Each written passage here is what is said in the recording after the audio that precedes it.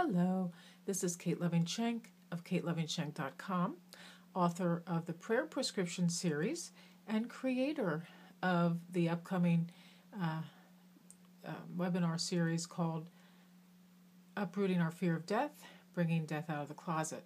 My next Google Hangout webinar is on February the 13th of 2014, and my guest is Uma Girish, who is a dream coach and that what that means is, is that when people lose the people they love through death or accident or trauma or crisis, they have lost a dream.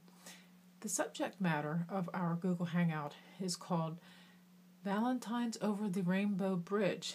And in this Google Hangout webinar, we will be commemorating all the people who have died in our lives who are our Valentines, whether they be past lovers, present lovers, moms, dads, cats, dogs, horses, everybody that you've ever loved, or our Valentines. So please join us February the 13th, 2014 at 3 p.m. Eastern Standard Time.